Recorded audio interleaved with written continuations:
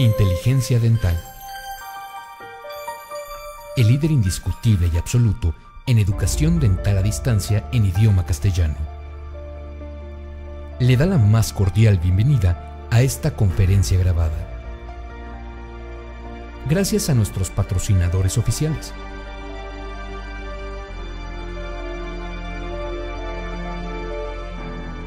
Le ofrecemos siempre un amplio abanico de temas útiles y de actualidad, entregados con alta calidad por excelentes conferencistas.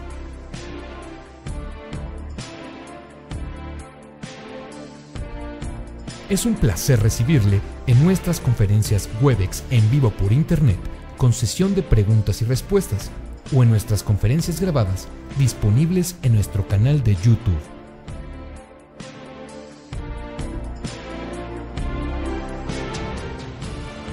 Sus sugerencias y comentarios son bienvenidos en promo arroba inteligenciadental.com. Por último, le invitamos a visitar nuestro website en donde encontrará toda la información disponible www.inteligenciadental.com. Que disfrute esta conferencia.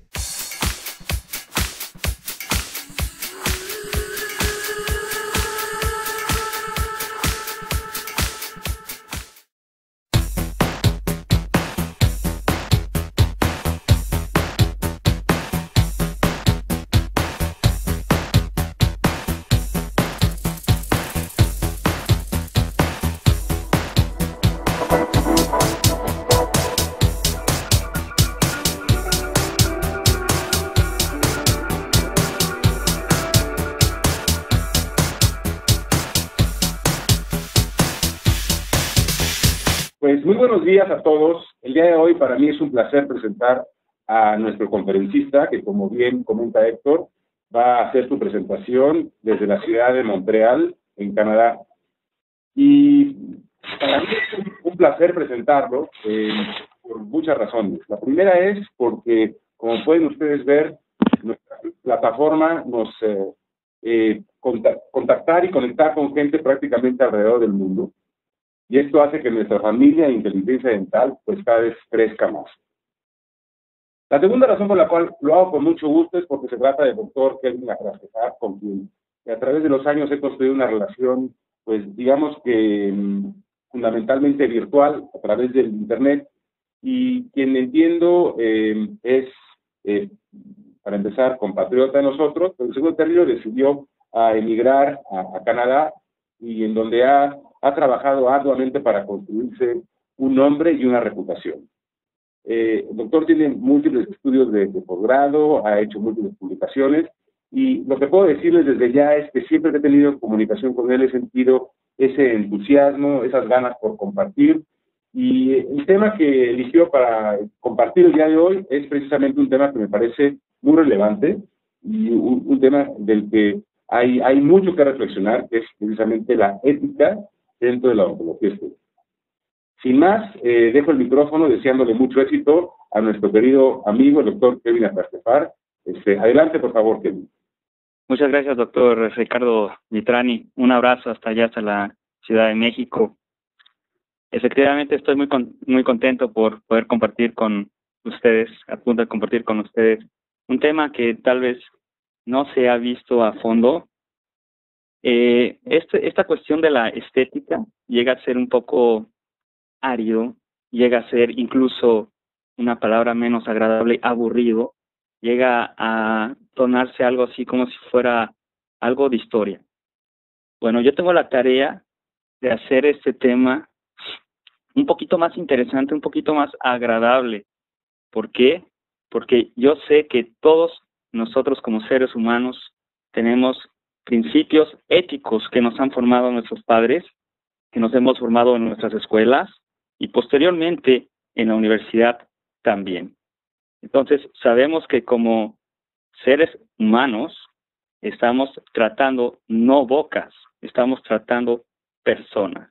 Ahora es cuando nos convertimos en el profesionista que está tratando con un paciente.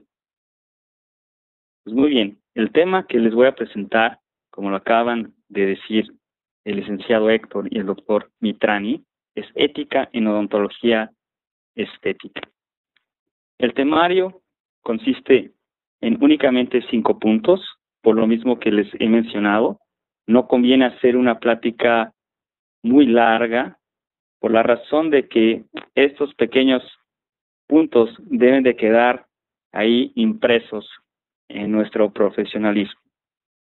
Esto tiene que ver con odontología estética y cosmética, conocer la diferencia, los lineamientos éticos, consideraciones, controversias y dilemas que se llegan a presentar.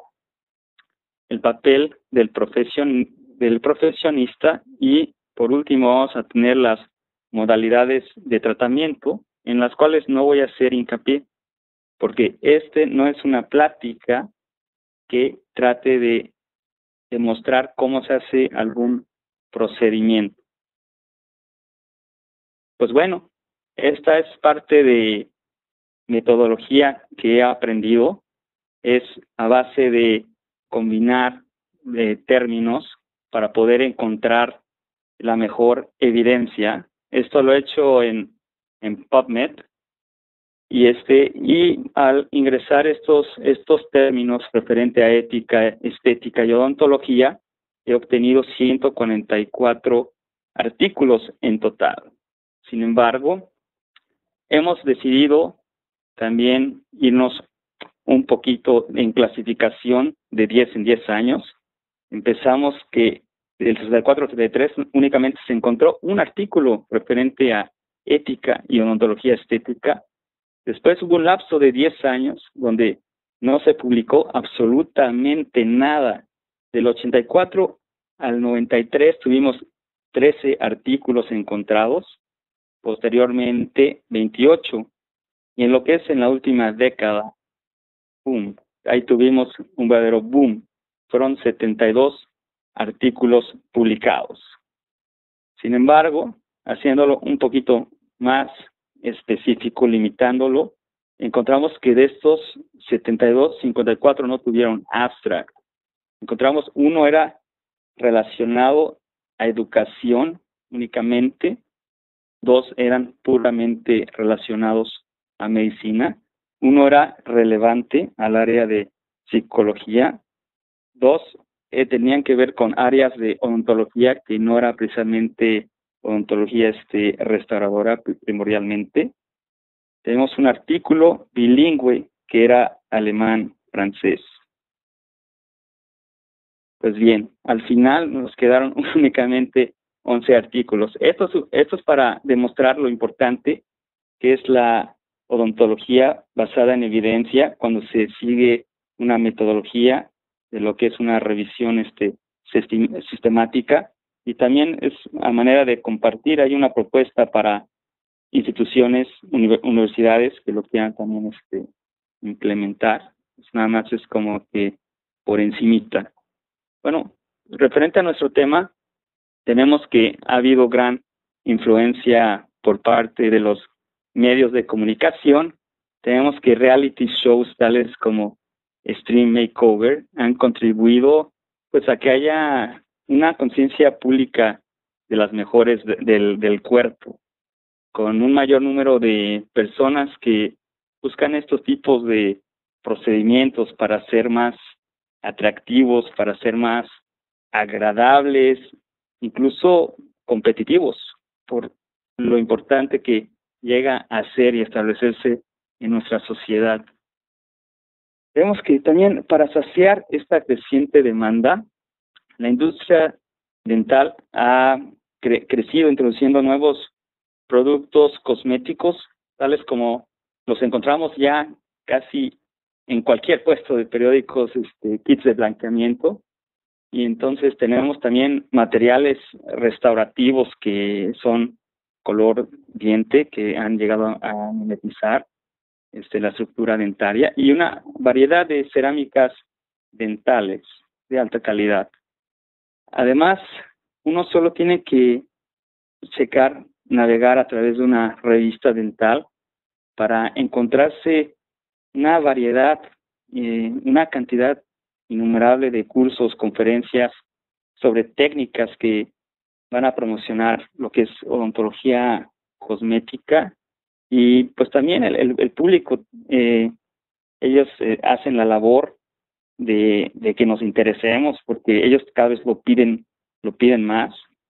Así es que en, eh, esa, esa demanda de los pacientes, combinado con una comercialización por las empresas, está cambiando gradualmente el equilibrio de lo que es la atención dental de una curación, de una parte curativa, a una profesión que se va a dejar, se va a dedicar a preocuparse un poco más por la mejoría de lo que es la apariencia. Pues bien, tenemos lo que es la odontología estética y cosmética. Para empezar, eh, tenemos que, que aclarar cuál es esta distinción. La estética es un concepto artístico concebido por los artistas en un intento de relacionar sus pinturas con la naturaleza. Sin embargo, los griegos, los científicos trataron de definir la belleza estética con matemáticas, con el fin de que pudiera ser eh, reproducida, que pudiera ser predecible. Y para, siguiendo este, este, este punto, la estética eh, científica tiene que ver con lo que propuso Pitágoras. Él fue quien ideó la proporción áurea, de la que tanto hablamos, y una definición simplificada de la estética ya sería que es la belleza que se encuentra en sinergia con la forma y la función, como ocurre predominantemente en la naturaleza. También tenemos que hay otra parte que es la cosmética, esta se refiere únicamente a lo que es el embellecimiento, muy a menudo sin ninguna consideración a lo que es la forma y la función. Es la contraparte de la, de la estética. Y también tenemos que esta parte cosmética pretende exagerar o resaltar la forma más allá de lo que la naturaleza destina. Por ejemplo, Ahí tenemos donde se aplica la proporción áurea en esta, en esta Venus. Y tenemos que el, el, el, ejemplo es claro que el aumento de busto a unas proporciones que raramente se observan en la naturaleza tiene poco que ver con la forma y la, y la función, como lo hemos estado mencionando. Un, un ejemplo dental deberían ser dientes, solo dientes eh, blancos refrigerador, que han estado ya por unos años tan de moda y que siguen siendo a veces raros, ¿no? Ah, son muy artificiales. Y además, raramente los encontramos en la naturaleza y no vemos, no vemos que tengan ventajas en cuanto a lo que es la forma y la función. Así es que existe una amplia ambigüedad y ambos términos se utilizan pues como, sinónimos para describir cualquier cosa que sea hermosa a, a, nuestra a nuestra vista y pues bueno también tenemos este las razones del paciente dental para para mejorar su, su apariencia un paciente puede solicitar de su, una mejora de su dentición, ya sea por razones tangibles o intangibles. Las razones tangibles, como lo podemos ver ahí, incluyen pues dientes que son pigmentados, que se encuentran en posición incorrecta, dientes que están faltando, dientes que están fracturados, desgastados, o dientes que han sido demasiado restaurados. En en estos casos, el paciente eh, va a encontrar dientes, este, si tiene un legítimo deseo de corregir las anomalías estéticas, ya sea para una inversión en salud y o la longevidad de su, de su dentición. Así es que vamos a ver una, una figura a continuación y ahí vamos a ver que hay una, que, que, que los dientes están apiñados y de una manera muy severa en la parte sextante anterior. Así es que esta razón es indudable para mejorar una, para buscar una mejora estética. Y este y pues bueno se hace un generalmente un encerado diagnóstico para proponer las posibilidades alcanzables con tratamientos dentales modernos. Y como se muestra en, la imagen ahí se hace se hace un encerado diagnóstico como lo había mencionado también hay una segunda categoría de pacientes que buscan la mejora dental por razones intangibles. Eh, en estas se pueden dividir o clasificar en narcisismo, trastornos psicológicos o de personalidad, o la carrera y progresión, una progresión social. Los individuos narcisistas, por lo general, son hedonistas, egoístas y también van a tener una alta opinión de sí mismos. Ellos también son vanos o tratan de recuperar una juventud perdida. Ellos lo que están haciendo es tratar de buscar ese elixir de la juventud que les va a aumentar de cierta manera la una, una, una estabilidad emocional. Y pues bueno, por lo general insisten en un cambio de imagen dental nada más por razones cosméticas, tales como dientes blancos o más rectos para irregularidades que van a ser relativamente menores. Digamos que ahora sí ellos van a pecar de perfectos. Entonces, tenemos a este, este siguiente caso en las que el paciente obviamente pide un cambio de, de imagen dental, ya que no le gustaba la, la, coloración, el tono que tenía antes. Entonces, eh, contaba con una rotación vestibular eh, de lateral y menor desgaste del borde incisal de los incisivos centrales. Este, este candidato es ideal para un blanqueamiento con posibles obturaciones de composite para reemplazar la pérdida dental mínima. Bueno, sin embargo, la preparación de seis o incluso ocho dientes para carillas sería extremadamente destructiva y muy poco ético, independientemente de la demanda que tenga el paciente.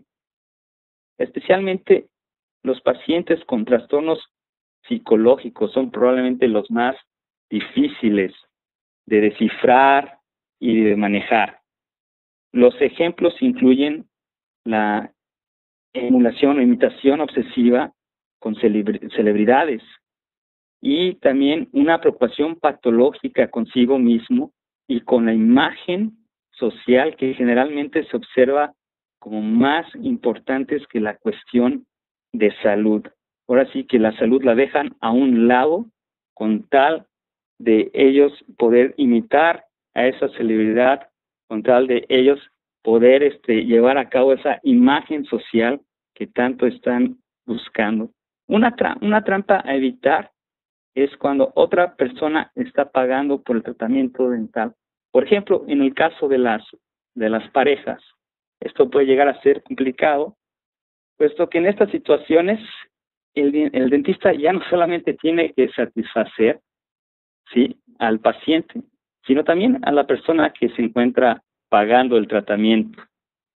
El dentista también debe, debe estar eh, consciente de que no todos los casos los puede ver y también tiene que considerar referir al paciente neurótico a un psicólogo, aunque esto puede ser sinceramente algo complicado, puesto que puede ser percibido como peyorativo, pero debemos resignarnos con el hecho de, que como dentistas no somos psicólogos entrenados. Y pues bueno, por último, un paciente, un paciente podría mejorar la estética dental anterior, ya sea para la carrera, ya sea por esa progresión social que mencionábamos, aún no hay ninguna justificación médica para este tipo de procedimientos. Mientras que el paciente puede ver esto como algo legítimo, debe obligar al dentista para satisfacer los deseos del paciente. Si es así, hay que considerar algo. Y si el paciente y, si el paciente no recibe ese trabajo o de esa persona no se siente atraída físicamente, esa persona especial que ellos tanto eh, añoran, no se siente eh, físicamente atraído a ellos, ¿quién tiene la culpa?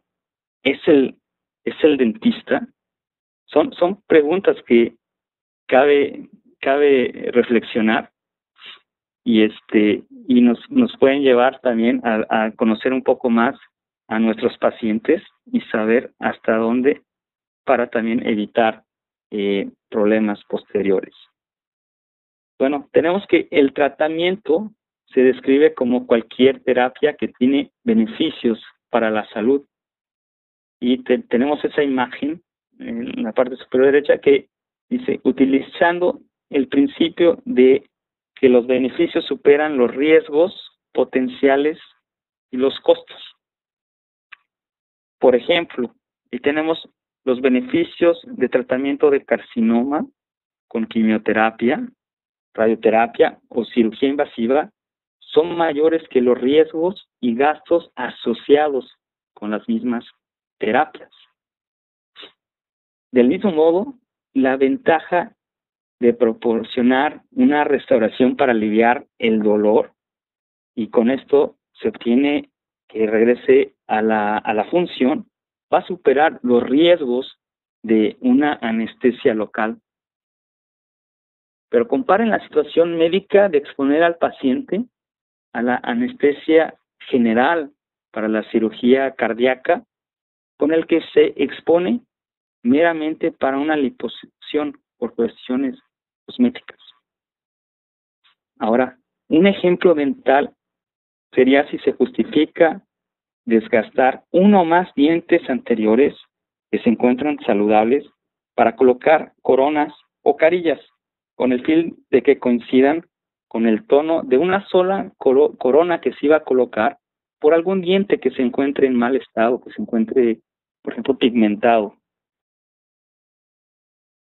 Ahora tenemos lo que es el tratamiento de elección. Tratamiento de elección se va a categorizar en lo que afecta o no a la salud y función, suponiendo que no hay complicaciones en el postoperatorio Ejemplos de tratamientos con poco o ningún impacto en la salud y función serían rinoplastía, blefaroplastía, un aumento de senos, inclusive una liposucción. Hay un posible impacto en la salud y función en un hecho posterior a la intervención. Este va a ser nuestro tratamiento electivo. ejemplos de las complicaciones pueden ser efectos secundarios de la anestesia general, una infección postoperatoria o una recaída, un desfiguramiento irreversible como resultado de un procedimiento correctivo inicial. Pues bueno, un ejemplo dental de un procedimiento de elección es la extracción de un diente sano para satisfacer demandas estéticas del paciente, que más tarde puede dar lugar a la migración de los dientes adyacentes o antagonistas, como nos muestra la imagen, lo que va a dificultar masticación o incluso va a comprometer la fonética. Idealmente la palabra tratamiento debe reservarse para la terapia, que trata de restaurar la salud y la función combatiendo una enfermedad que pone en peligro la salud de un individuo, con un alto beneficio relación entre riesgos. Por lo tanto, para aclarar la terminología, se ha propuesto que la palabra tratamiento describa terapias curativas verdaderas, mientras que procedimientos va a describir modalidades electivas que son de mejora. Pero la verdad también las utilizamos de, de cualquier manera. como estética y cosmética. Por otra parte, para los procedimientos de mejora no se puede aplicar los criterios riesgo, beneficio, costo, ya que estas modalidades están más allá del alcance de, de lograr salud. Pues bueno, ahora, ahora tenemos lo que son las carillas de, porcelana y también tenemos que son las, las restauraciones de uso más común para los procedimientos dentales cosméticos. Como un, una regla general, estas carillas deben reservarse para reemplazar la dentina y el esmalte perdido, pero no se utiliza como un sustituto de la dentina y el esmalte. No se debe de abusar eh, de estas restauraciones como si, si hicieran esa, esa función. Entonces, no va a ser el primer tratamiento que, que vamos a ofrecer como si fuera la, la gran maravilla. ¿sí? Esto se va a hacer únicamente en casos que busquemos restaurar. Por ejemplo, proporcionar eh, carillas en casos de desgaste de, de, dientes o dientes que se encuentren muy restaurados con restauraciones que ya están defectuosas, esas sí tienen una alta relación beneficio-riesgo. Ahí es donde sí está más justificado. Y entonces vamos, vamos a tener que esta imagen nos muestra que ha habido un gran desgaste en las en las eh, en, en, la parte incisal y también vamos a tener que ahí sí se puede justificar que se utilicen carillas para reemplazar este tejido que se que se ha perdido. Y esto también nos va a prevenir que haya un mayor deterioro además de que va a mejorar eh, la estética. Sin embargo, proporcionar carillas para alterar el color de los dientes sanos, digamos de un A3 a B1, tiene una relación beneficio-riesgo bajo. Y es altamente polémico, incluso va a llegar a ser dañino. Mientras las carillas brindan una gratificación inmediata, los aspectos negativos incluyen daño pulpar, infecciones, fracturas o incluso pérdida de los dientes, especialmente si se lleva a cabo por clínicos que son inexpertos. De hecho, proporcionar carillas de porcelana en estas situaciones consiste en poco más de amputaciones o mutilaciones, independientemente del resultado o de las razones que se puedan mencionar para justificar este tipo de, procedimientos. Y ya una práctica tan común es utilizar restauraciones que sean muy rectas, restauraciones que sean muy blancas. Sin embargo, difícilmente van a imitar lo que es la naturaleza. Estudiantes, más que provocar un sentido de de belleza se ven muy artificiales y de tal vez unos chicles de una marca muy conocida. Vamos a tener que entender también lo que es ética médica para diferenciar lo que es lo correcto de lo que es incorrecto. Vamos a empezar con un, ejemplo de, de correcto. Está al proporcionar una restauración en un diente fracturado, restaurando así lo ya tan mencionado antes, salud y su función.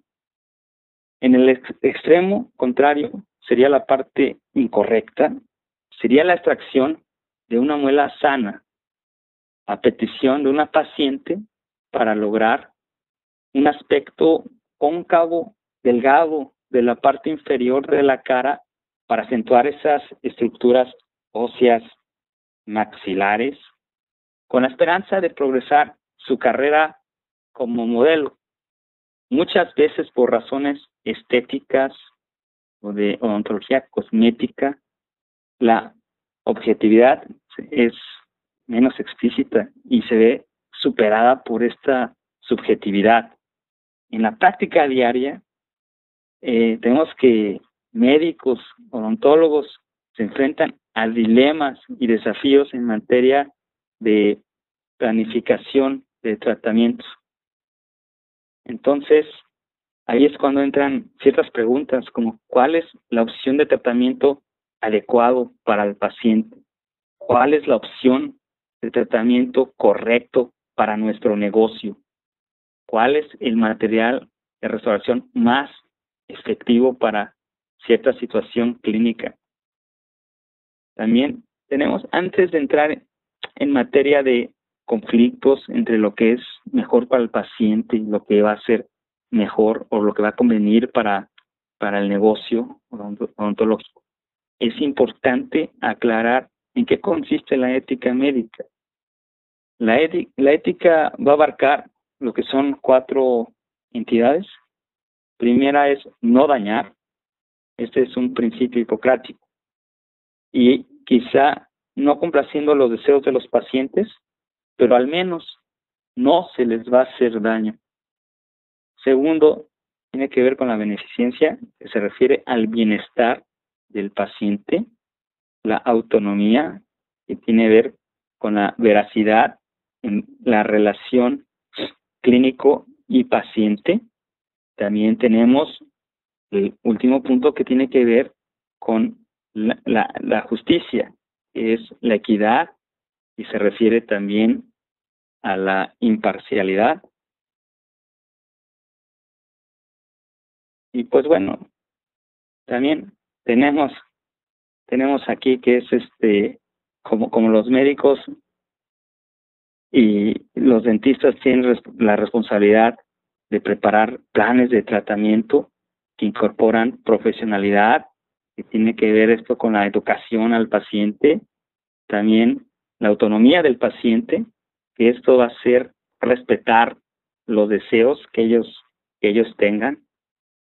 En la mayoría del, del, del mundo occidental, mantenerse al día con las investigaciones actuales, ¿sí? con, la, con la ciencia y las técnicas clínicas, es algo imperativo, es obligatorio para, para practicar la odontología.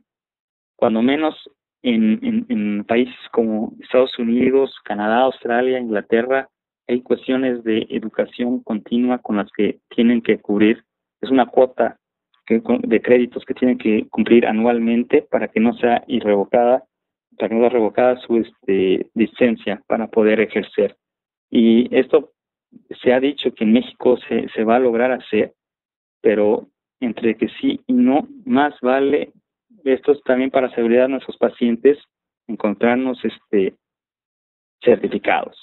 Además que estar actualizados va a implicar asistir a conferencias, cursos, y también hacer nuestra propia tarea en cuanto a leer publicaciones que sean relevantes a, la especialidad determinada que estemos ejerciendo. Eh, a veces un sobretratamiento o tratamiento insuficiente no intencionado va a resultar de la falta de conciencia o de charlatanería. Por ejemplo, la odontología holística que tiene poca o ninguna base científica, como lo he encontrado en la literatura. No es ninguna, no quiero hacer una, crítica aquí que genere controversia, pero es como, como se ha mencionado. Y también hay, hay un número de, de médicos y odontólogos que intencionalmente prescriben tratamientos innecesarios. Esto se ha, se ha documentado. También ha habido eh, un gran porcentaje proporciona ya un tratamiento anticuado por lo mismo de no actualizarse, tratamientos que no se basan en, en, avances científicos actuales, eh, que no se basan en la evidencia médica o ontológica, o procedimientos que ellos realizan ya son basados únicamente en anécdotas de algún otro colega o de experiencias que, que ellos han ido desarrollando. Eh, también hay, muchas razones que, se utilizan para, justificar la odontología cosmética. Algunas van a ser válidas, otras no, no lo son, son falsas. Eh, ya como, como mencionamos eh, anteriormente, eh, de los artículos, de, de, los materiales que son más solicitados, son, son los que tienen que ver con, con los que tienen dientes rectos, dientes blancos, y también este se busca pues cerrar brechas no debido a dientes perdidos ahí. Tenemos que la responsabilidad del clínico ser satisfacer las solicitudes del, del paciente mediante sugerencia también. Eh, tenemos que hacer la, la tarea de sugerir opciones que son mínimamente invasivas. Esto está totalmente respaldado por la investigación científica y tiene una durabilidad aceptable con mínimas este, complicaciones futuras. Así es que ahí están todas las ventajas a odontología mínima invasiva. Y tenemos que es una buena idea tener en cuenta el lema de, de Pincus. Él dice, él es, él es uno de los padrinos, por cierto, de la odontología estética y al tomar decisiones sobre un determinado tratamiento, él, él dice, no hay nada permanente en odontología. Entonces, al cumplir con esta, con esta frase, si es mínimo o menos invasivo el tratamiento que se prescribe, se indica, las posibilidades de éxito y la longevidad van a aumentar. Eso es en automático y por otro lado, el, el tratamiento que sea destructivo, que sea más invasivo, ese pues inevitablemente va a presentar mayores complicaciones y las tasas de supervivencia van a ser menores. Entonces, tenemos que, en realidad, todas las opciones de tratamiento tienen sus pros y contras y finalmente se va a llegar a ahí a una, una decisión, a un compromiso. Esto puede significar renunciar a la estética super, superlativa con fin de mejorar el funcionamiento o las tasas de supervivencia, lo que podría ser una opción es, es buena, es prudente, en comparación con estética efímera y una duración que va a ser breve. Entonces, no importa, no importa las, las ganancias o dolores de, de un tratamiento específico, es esencial ofrecer opciones al paciente con respectivas ventajas y desventajas, muy importante. Algunas de las excusas utilizadas con frecuencia para justificar la odontología puramente cosmética, eh, entre otras, son las, siguientes. Ser sanación eh, psicológica, una mejoría, así que abusar de la regla de proporción áurea, cerrar los corredores bucales y el logro de las relaciones oclusales eh, óptimas. La petición más frecuente de los pacientes que buscan atención dental estética es quiero que sea blanco, quiero que sea brillante, quiero que esté bien hecho, quiero que esté correcto.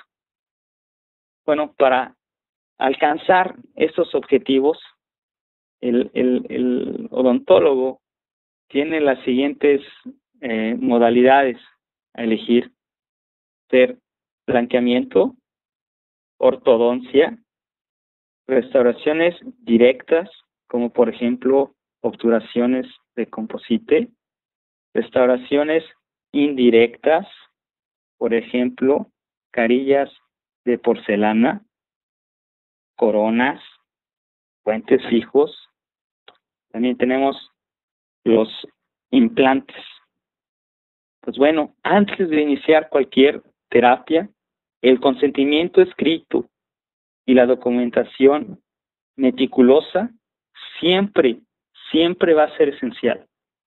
Eso no se puede pasar por alto, porque no sabemos cuándo se vaya a presentar alguna complicación y ese va a ser el, único papel que nos va a amparar. Como se comentó ya antes, anteriormente, el, consentimiento solo es posible una vez que el paciente es consciente de todas las opciones y se ha informado acerca de los pros y contras de cada opción de, tratamiento. La documentación puede ser escrita y también se, añaden eh, fotografías, la parte también de radiografías. Y esto nos conviene mucho porque los pacientes suelen olvidar cómo empezaron, suelen, suelen olvidar esa, esa situación inicial, cómo fue que ingresaron al, al consultorio y mostrando imágenes preoperatorias siempre va a ser una herramienta educativa maravillosa, así como mostrar las grandes mejoras que son posibles con los tratamientos dentales que nosotros estamos ofreciendo. Un protocolo prudente es comenzar con el procedimiento menos invasivo y el progreso de la terapia más complicada o los involucrados. El, blanqueamiento es un excelente punto de partida. ¿Por qué? Porque va a ser inofensivo, es eficaz, es previsible, es económico y para muchos es suficiente para lograr un resultado deseado. Con eso se, se tiene y es un magnífico punto para, para comenzar. Ahora, similar al blanqueamiento, ortodoncia es mínimamente invasivo y debe ser considerado como la primera línea de tratamiento para tratar eh, apiñamiento y cerrar espacios. También es ideal para los casos en que un diente de pronóstico que, que no tiene esperanza requiere la extracción antes de la colocación de un implante dentario. En estas circunstancias, y si la situación clínica es favorable, una rápida extrusión ortodóntica es un método ideal para ganar hueso coronal promoviendo el complejo dentogingival en sentido coronal. Otro uso va a ser la creación de un espacio para pónticos o implante o hasta enderezar, eh, poner en posición correcta a las raíces para facilitar la colocación de un implante. En, en órganos dentarios que se encuentren inclinados puede interponerse la raíz para que el implante llegue hasta, hasta la zona donde, donde requiere para que tenga esa estabilidad. Sin embargo, hay, uh, hay limitaciones a un tratamiento de, de ortodoncia y el cumplimiento puede ser pobre o totalmente rechazado por parte del paciente. En primer lugar, pues los, brackets tienen una tendencia a ser percibidos como algo desagradable, puede causarle pena y en segundo lugar, la retención, a, la, retención que tiene que haber a largo plazo es esencial para prevenir una, una recidiva. Entonces, en muchos casos de estos se, se va a optar por utilizar eh, ortodoncia lingual. Con eso se evita esa cuestión de que tal vez le desagrade que se, que se muestre por la, por la parte vestibular, al, sonreír, al, hablar, y eso llega a ser eh, incómodo.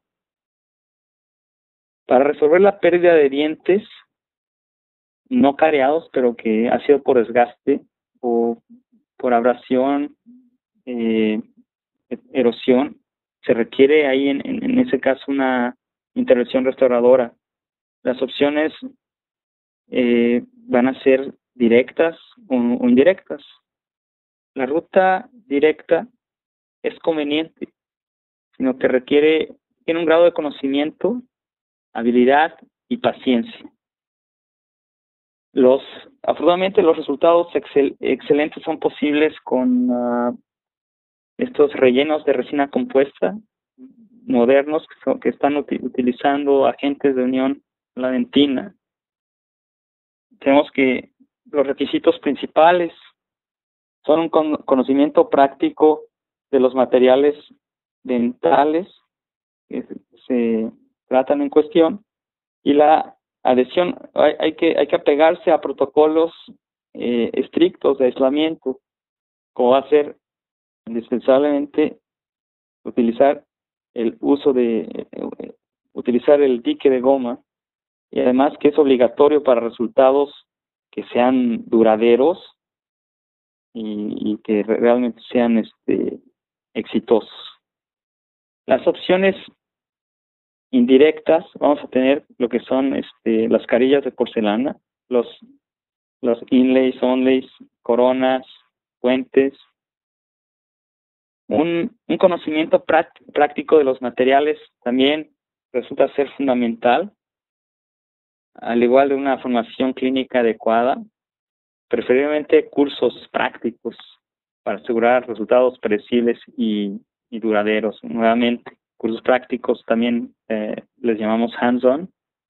Estos se, se aplica en esto se aplica igualmente al, ceramista para fabricar las restauraciones. Sabemos que ahí es donde se van a ver también los, los resultados. Eh, como cualquier tratamiento estético, las coronas, puentes, las carillas están abiertos lamentablemente a, a abusos.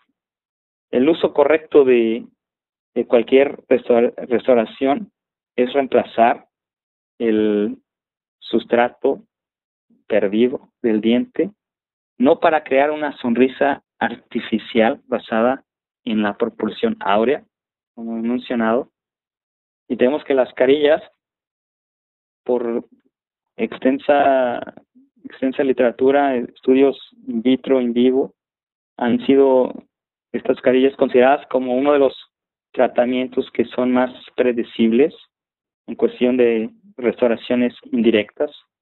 En la imagen de la derecha estamos viendo que es una preparación de los de los centrales incisivos maxilares para para recibir lo que van a ser unas carillas de porcelana.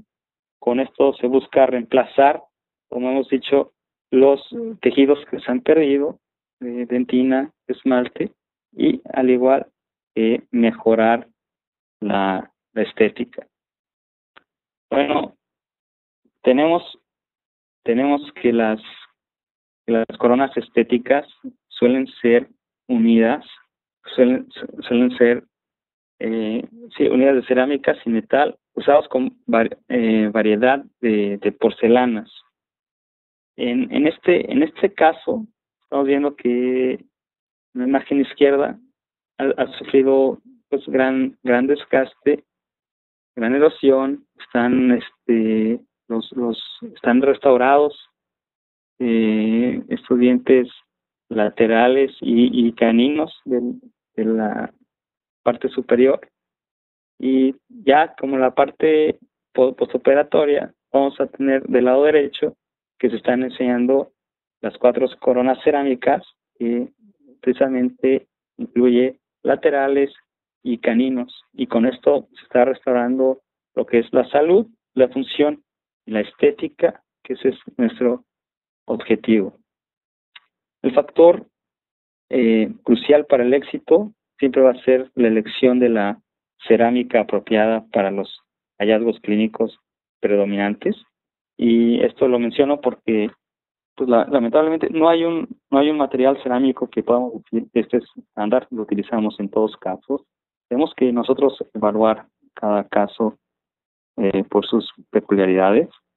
Eh, casi todos los, los meses podemos decir, sin temor a exagerar, que hay un lanzamiento de un nuevo sistema de cerámica en el mercado, cada uno afirmando ventajas sobre sus competidores, que son sus rivales existentes, agregando cierta confusión y a menudo se toman decisiones que, bueno, van a ser desalentadoras y es algo desconcertante.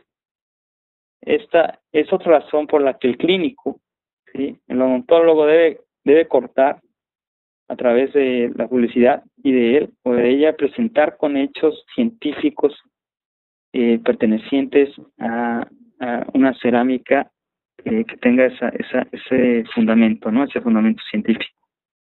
También este tenemos que es, es importante informar a los a los pacientes de los materiales que vamos a utilizar, en especial si van a ser materiales que son relativamente nuevos, porque en caso que los utilicemos en alguna de, de las restauraciones que pretendamos implementar, pues estos materiales nuevos puede ser que no se encuentren a la altura o no cumplen con las expectativas previstas.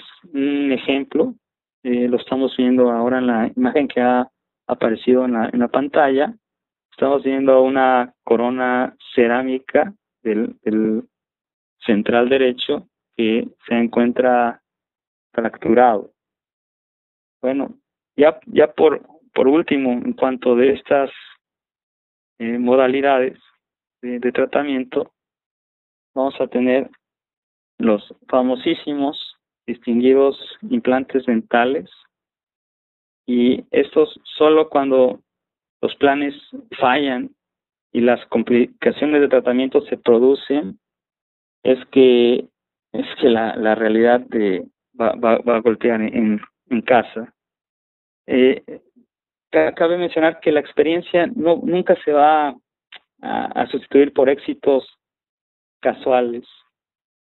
Eh, si, uno está considerando la incorporación de implantes como parte de un tratamiento estético, el mejor método de obtención siempre de diplomas o títulos eh, reconocidos de institutos de enseñanza de, buena reputación, seguido por experiencia y un periodo de, tutoría, pues eso nos, nos van a, a cortar tal vez lo que va a ser esa curva dolorosa, ¿no? De, de, aprendizaje. En fin, este, hay, hay, hay un artículo que, que me he encontrado. También quería ver yo de la, la situación en, en, México, que, que, que, se ha publicado hasta, hasta ahora. Entonces, tenemos que, en México contamos con la Comisión Nacional de Arbitraje Médico, mejor conocido como la, la CONAMED, y es, es interesante ver que las irregularidades con mayor incidencia y frecuencia son, en primer lugar, la falta de comunicación entre el profesional del, de la salud y el, paciente, el, odontólogo y el, paciente. Y esto se refiere a, lo que es un maltrato al paciente, inclusive, eh, el dentista no explica en términos fáciles, en términos accesibles al, paciente, no hay, una falta, ¿cómo se puede decir? No enfatiza el alcance el, de los tratamientos, no, no, no menciona las, las limitaciones que también puede tener el tratamiento en, en cuestión, no informa correctamente del costo y de la relación riesgo-beneficio de la, de la atención. Y también este se debe de, cuando, cuando me, me refiero a esto de la relación riesgo-beneficio, también se tiene que contemplar la posibilidad de fracaso del procedimiento es que se vaya a hacer. Eh, otro, otro de las de las cuestiones tiene que ver con uh, hay inex, inexactitudes, imprecisiones, se, dele, se va a delegar responsabilidades, eh, se modifican convenios en cuanto a modo, tiempo y costo de la, de la atención uh, brindada. En segundo, segundo término, vamos a tener que existe tendencia a despertar falsas expectativas en los pacientes, el uso y manejo equivocado de materiales y procedimientos no indicados, así como hacer tratamientos incluso simulados, eh, pretensiones, también dar pretensiones clínicamente inalcanzables. Es como aquella paciente que le prometieron, eh, te voy a dejar tan guapa como, como Rihanna. Y entonces, pero Rihanna ha pasado también por, por muchas fases. Lo que pasa es que no le dijeron a la paciente que la iban a dejar como después de Chris Brown. Pues tenemos algunas de las de las conclusiones de este mismo de este mismo artículo de del doctor Triana es que hay un hay hay un los, odontólogos desconocemos la responsabilidad que se genera a no aplicar conceptos éticos y legales en nuestro en nuestra práctica eh, diariamente eh, los cirujanos dentistas debemos enfrentar situaciones que requieren aplicación de conceptos éticos.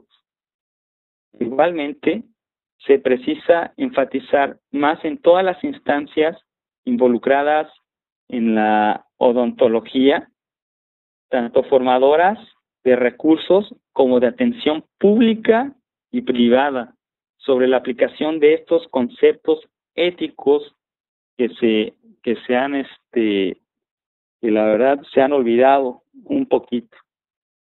También tenemos que el odontólogo se rige por los mismos principios científicos, éticos y legales que el acto médico, predominando siempre el aspecto ético.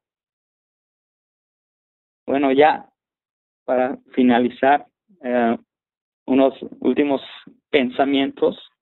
Vemos que a veces va a ser eh, eh, difícil, quiero decir, imposible reconciliar los valores de comercio con uh, virtudes profesionales o el paternalismo del odontólogo y la autonomía del paciente para que también se acceda a lo que él o ella desea. Sin embargo, la ética debe tener prioridad sobre las preocupaciones fiscales que pueda tener el, odontólogo. Eh, del, mismo, del mismo modo, la autonomía del paciente no es lo más importante en comparación con su salud. Hay, hay, hay muchos ejemplos que ahí se podrían mencionar, pero el tiempo no nos va a dar para más. Y tenemos que también nuestra sociedad que ahora está tan consciente de la, de la moda, uh, esto lleva a que los profesionales de la salud pueden verse obligados a admitir que mejorar la salud y función. Ya no, ya no es suficiente desde hace un tiempito y que el mejoramiento de la, de la apariencia, ¿sí? la, la, estética, abarca también dentro de nuestros servicios curativos, hay, hay un espacio para, para él, y sentirse más saludable, sentirse más saludable puede ser menos importante que verse mejor en ocasiones en esta sociedad como se, se, ha, se va desarrollando y pues bueno, eh, esto, estas son de las, de las cosas que, sí son conveniente mencionar. Y pues nos, nosotros como, como clínicos tenemos que ir a, a, a, los, a nuestros principios, tenemos que ir de, de regreso a ser abogados del, del paciente y no preocuparnos por esos ingresos económicos, por hacer rehabilitaciones extensas que no son este, necesarias y que ni siquiera van a estar en, en el mejor este interés de, de los pacientes. Por ahí hubo algún, artículo de doctor Keller de, Inglaterra que me llamó mucho la atención. Él, decía que hay una prueba que se llama la prueba de la hija. Esto, se refiere a que cuando nosotros vayamos a, realizar un tratamiento, simplemente el hecho de que se comience a exponer qué tratamiento se, se propone, tenemos que pensar es esa persona, ese paciente que nos está brindando su confianza, su tiempo, este, es como de nuestra familia. Hay, hay otro término que le pusieron en, en Estados Unidos muy controversial, porque muchos no se sentían identificados con el tratamiento de la hija, dicen, sabes que yo ni siquiera hijos tengo, este, le llaman el, el, la prueba del amante, pero pues también causó este causó cierta polémica y pues se optó por dejarlo únicamente como la, prueba del familiar. Ahora, pues bueno, eh, quiero agradecer eh, de todo corazón al licenciado Héctor, a Diana, al doctor Mitrani por hacer esto posible, todas sus atenciones, igualmente sus consejos, esos me los llevo y también estoy con el, el, placer de haber compartido un poquito de este tema que la verdad da para explotarse todavía mucho más, pero para una introducción yo creo que ya fue este es, es suficiente esta esta hora. Eh, al igual quiero decirles que estoy muy agradecido por haberme permitido llegar a su consultorio, a sus hogares, de donde quiera que nos estén eh, viendo. Y pues nada más esta idea de demuestra tu pasión con ética. Les agradezco y nos vemos hasta la próxima.